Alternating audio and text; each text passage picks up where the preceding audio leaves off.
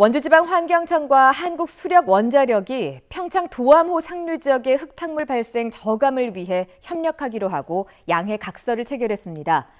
이번 협약을 통해 원주환경청은 도암호 상류의 고릉지밭 경사도 완화 사업, 일명 계단식 밭 조성에 나서고 한수원은 재원을 지원합니다. 도암호 상류는 흙탕물 발생 문제로 인해 2007년 비점 오염원 관리 지역으로 지정 고시된 곳으로 도암댐이 있지만 발전은 하지 못하는 상황입니다. 환경청은 지난해 평창과 홍천 고랭지에 계단식 밭 3곳을 시범 조성한 결과 흙탕물 87.8% 저감 성과를 확인했다고 덧붙였습니다.